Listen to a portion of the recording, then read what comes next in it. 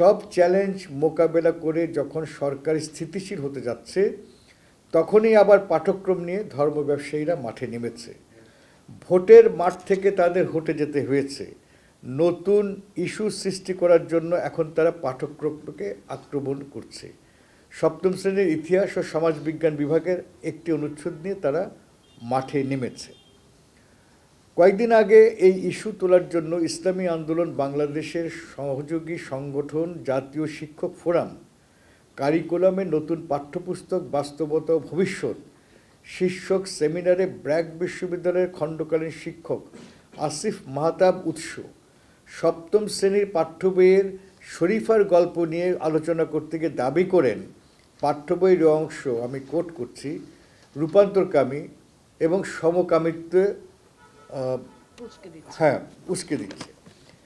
বইয়ের দুটি পৃষ্ঠা ছিঁড়ে ফেলে তিনি বলেন, আমি কোট করছি তার ভাষায়, বইয়ের দোকানে যাবেন।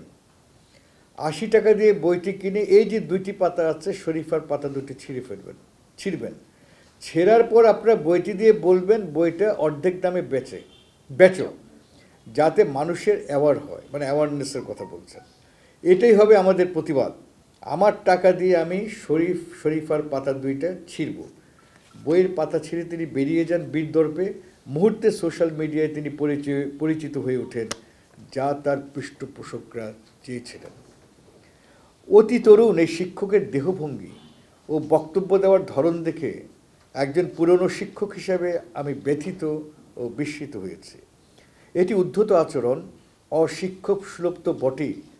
ছাত্ররা যদি এ ধরনের মনোভঙ্গি লাভ করে, তা বিশ্ববিদ্যালয় গোটা সমাজের জন্য উদ্বেগজনক যে বিশ্ববিদ্যালয়ের প্রতিষ্ঠাতা একজন মুক্তিযোদ্ধা সেই বিশ্ববিদ্যালয়ে কনিষ্ঠ একজন শিক্ষকের একই অশিষ্ট আচরণ?